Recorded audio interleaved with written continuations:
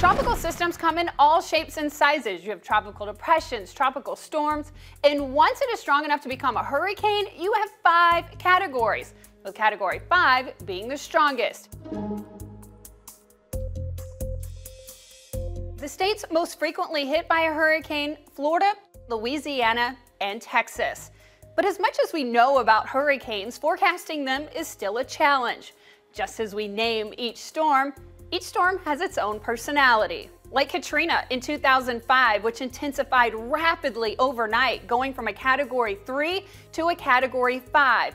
It became the fourth most intense hurricane on record as of that time. And the forecast track can change dramatically, like Erika in 2015. Or a system that can be viewed as relatively weak, like a tropical storm, could end up like Tropical Storm Allison in 2001.